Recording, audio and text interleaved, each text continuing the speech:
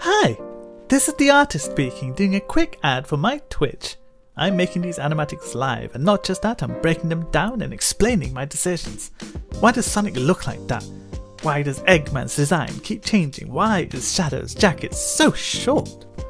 You'll find out at twitch.tv forward slash creates. I'll also be looking at other animations, breaking them down and enjoying it all. Plus, on Friday, Fun Day Friday, where we chill and enjoy the vibes. See you there every Monday 3pm, Wednesday 6pm, and Friday 6am EST at twitch.tv forward slash creates.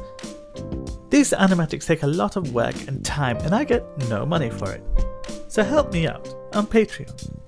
Go to patreon.com forward slash creates for early videos, make suggestions, see early sketches, and even get sketch commissions every month on the higher tiers. Patreon.com slash creates help me keep making these.